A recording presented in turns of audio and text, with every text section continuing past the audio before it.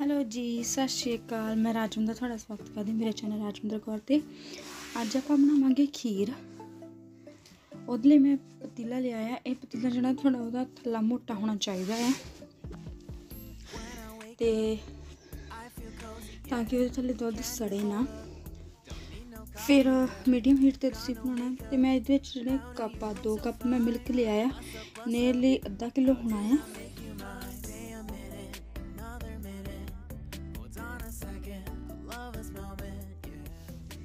Milk ਨੂੰ ਤੁਸੀਂ medium heat ਤੇ ਹੋਣ ਦੇਣਾ ਬੋਇਲ ਜਦੋਂ ਬੋਇਲ ਹੋ ਗਿਆ, ਉਸ ਤੋਂ ਬਾਅਦ ਜਿਹੜਾ ਤੁਸੀਂ ਜਿੰਨਾ ਦੁੱਧ ਉਹ ਤੋਂ ਜਿੱਦਾਂ ਤਿੰਨ ਹਿੱਸੇ ਦੁੱਧ ਦਾ ਘੱਟ ਜਾਵੇ, ਇੱਕ ਹਿੱਸਾ ਰਹਿ ਜਾਵੇ, ਚੌਥਾ ਹਿੱਸਾ ਮਤਲਬ ਕਿ ਦੁੱਧ ਰਹਿ ਜਾਵੇ। ਉਦੋਂ ਆਪਾਂ ਉਹਦੇ ਵਿੱਚ ਚੌਲ ਸ਼ੂਗਰ ਸਾਰਾ ਕੁਝ ਐਡ ਕਰਨਾ ਹੈ। ਪਹਿਲਾਂ ਆਪਾਂ ਇਹਨੂੰ ਚੰਗੀ ਤਰ੍ਹਾਂ ਬੋਇਲ ਕਰਨਾ ਹੈ।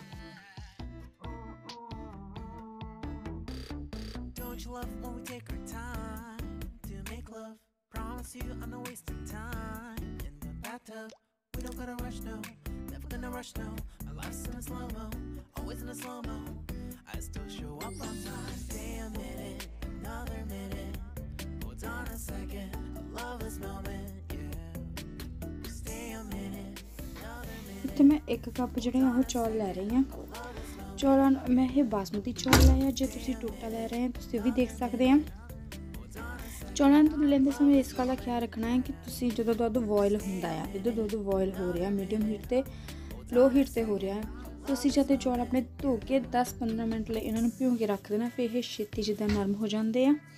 ਤੇ ਜਿੰਨੇ ਤੁਸੀਂ ਜ਼ਿਆਦਾ ਚੌਲ ਧੋਗੇ ਉਨੇ ਚੌਲ ਤੁਹਾਡੇ ਸੋਹਣੇ ਬਣਦੇ ਆ।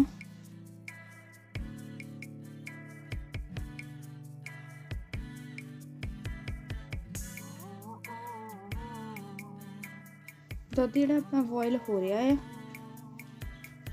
ਜੇ ਤੁਸੀਂ ਦੇਖਿਆ ਕਿ ਕਿੰਨਾ ਦੁੱਧ ਸੀ ਤੇ ਹੁਣ ਕਿੰਨਾ ਰਹਿ ਗਿਆ ਹੈ ਇਹਨੂੰ ਤੁਸੀਂ ਲੋ ਹੀਟ ਤੇ ਬੋਇਲ ਹੋਣ ਦੇਣਾ ਥੋੜਾ ਸੰਘਣਾ ਹੋ ਜਾਣਾ ਥਿੱਕਾ ਹੋ ਜਾਵੇ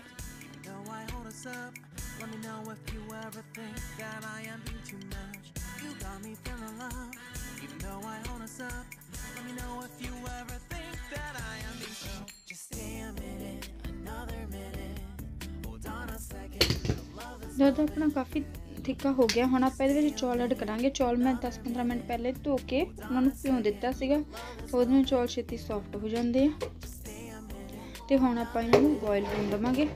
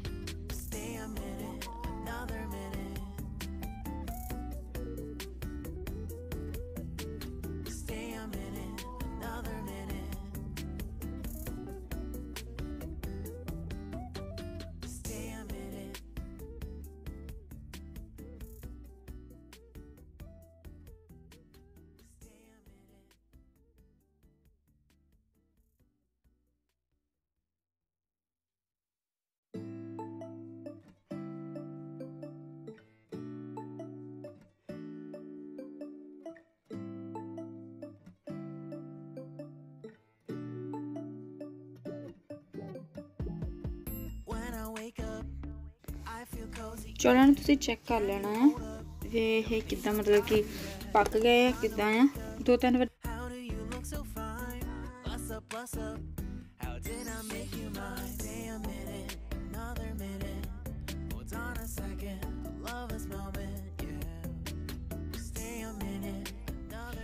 ਸਰ ਇੱਥੇ ਇਗਨੋਰ ਕਰਿਓ ਦੁੱਧ ਬੋਇਲ ਹੋ ਗਿਆ ਸੀਗਾ ਮੈਂ ਡਰਾਈ ਫਰੂਟ ਕੱਟਦੀ ਸੀਗੀ ਹੁਣ ਆਪਾਂ ਇਹਦੇ ਵਿੱਚ ਡਰਾਈ ਫਰੂਟ ਐਡ ਕਰ ਦਾਂਗੇ ਚੌਲ ਆਪਣੇ ਪੱਕ ਗਏ ਆ ਤੇ ਉਸ ਤੋਂ ਬਾਅਦ ਨਾਲੇ ਆਪਾਂ ਫਿਰ ਇਹਨਾਂ ਨੂੰ ਹਿਲਾ ਕੇ ਦੇਖਣਾ ਆ। ਤੇ ਡਰਾਈ ਫਰੂਟ ਵੀ ਮੈਂ ਜਿੱਦਾਂ ਬੋਇਲ ਗਰਮ ਪਾਣੀ ਵਿੱਚ ਮੈਂ ਇਹਨਾਂ ਨੂੰ ਭਿਉਂ ਦਿੱਤਾ ਸੀਗਾ। ਤੇ ਉਸ ਤੋਂ ਬਾਅਦ ਤੁਸੀਂ ਦੇਖੋ ਰੈਡੀ ਆ ਆਪਣੀ ਸਾਰੀ ਖੀਰ ਤੇ ਆਪਾਂ ਇਹਦੇ ਵਿੱਚ ਸ਼ੂਗਰ ਐਡ ਕਰ ਦਾਂਗੇ।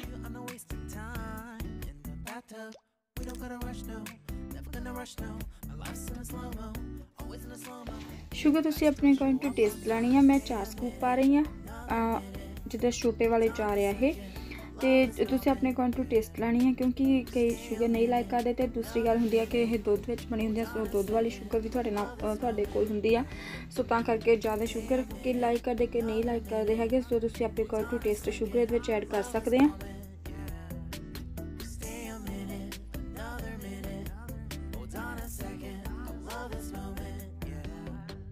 ਗੈਸ ਤੁਸੀਂ ਆਪਣਾ ਆਫ ਕਰ ਦੇਣਾ ਆ ਇੱਥੇ। ਗੈਸ ਆਫ ਕਰਨ ਤੋਂ ਬਾਅਦ 2-3 ਮਿੰਟ ਉਹਨੂੰ ਦੇ ਉੱਤੇ ਸੇਕ ਤੇ ਪਏ ਰਹਿਣ ਦੇਣਾ ਆ।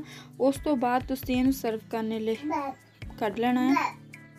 ਤੁਸੀਂ ਸਰਵ ਕਰਨੇ ਨੂੰ ਇਹਨੂੰ ਬੋਇਲ 'ਚ ਵੀ ਕੱਢ ਸਕਦੇ ਆ, ਕੌਲੀਆਂ 'ਚ ਵੀ ਪਾ ਸਕਦੇ ਆ ਪਲੇਟਸ ਵਿੱਚ ਪਾ ਸਕਦੇ ਜਿੱਦਾਂ ਤੁਹਾਡੀ ਚੁਆਇਸ ਹੈ ਤੁਸੀਂ ਕਿਹਦੇ ਵਿੱਚ ਸਰਵ ਕਰਨਾ ਆ। ਮੇਰੀ ਰਿਕੁਐਸਟ ਹੈ ਜੇ ਤੁਸੀਂ ਪਹਿਲੀ ਵਾਰ ਮੇਰੇ ਚੈਨਲ ਤੇ ਵਿਜ਼ਿਟ ਕਰਦੇ ਪਲੀਜ਼ ਮੇਰੇ ਚੈਨਲ ਨੂੰ ਸਬਸਕ੍ਰਾਈਬ ਕਰੋ ਵੀਡੀਓ ਲਾਈਕ ਕਰਿਆ ਕਰੋ ਸ਼ੇਅਰ ਕਰਿਆ ਕਰੋ ਕਮੈਂਟ ਕਰਕੇ ਦੱਸਿਆ ਕਰੋ ਵੀਡੀਓ ਕਿੱਦਾਂ ਦੀ ਲੱਗੀ। ਤੇ ਤੁਸੀਂ ਵੀ ਇਸੇ ਤਰ੍ਹਾਂ ਬਣਾਇਓ ਆਪਣੇ ਘਰ 'ਚ ਖੀਰ ਤੇ ਫਿਰ ਤੁਸੀਂ ਮੈਨੂੰ ਦੱਸਿਓ ਤੁਹਾਡੀ ਕਿੱਦਾਂ ਦੀ ਬਣੀ। ਬਹੁਤ ਹੀ ਸੋਹਣੀ ਬਣੀ ਆ, ਬਹੁਤ ਹੀ ਨਾਈਸ ਬਣੀ ਆ, ਤੁਸੀਂ ਲਾਈਕ ਕਰੋਗੇ ਤੇ ਆਪਾਂ ਇਹਦੇ ਬਾਅਦ ਵਿੱਚ ਥੋੜਾ ਜਿਹਾ ਡਰਾਈ ਫਰੂਟ ਉੱਤੇ ਪਾ ਸਕਦੇ ਆ ਜੇ ਤੁਸੀਂ ਕਾਰਡਮਮ ਪਾਊਡਰ ਪਾਉਣਾ ਚਾਹੁੰਦੇ ਆ ਤਾਂ ਤੁਸੀਂ ਉਹ ਵੀ ਪਾ ਸਕਦੇ ਆ ਵੀਡੀਓ ਦੇਖਣ ਲਈ ਥੈਂਕ ਯੂ